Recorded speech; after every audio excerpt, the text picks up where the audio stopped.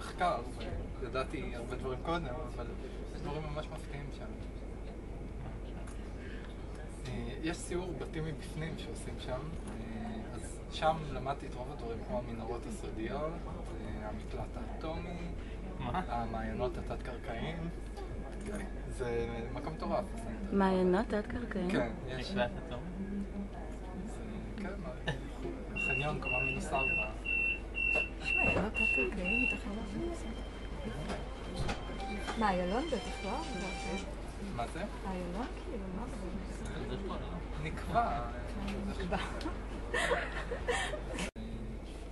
אבל בסנטר גיליתי גם כמה דברים.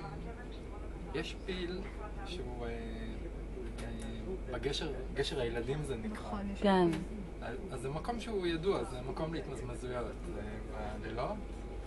אה, מה, שם בדרך כלל כזה? בצד השני, מ- ממול.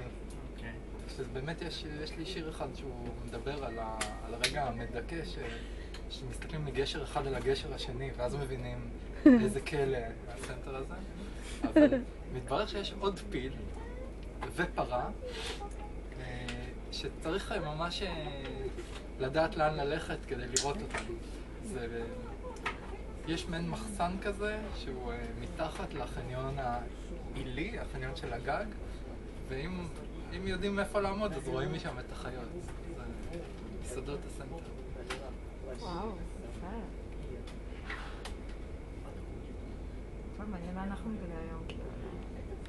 בנתב"ג אולי יש דברים שמוטב לא לגלות. גם בסנטר כזה.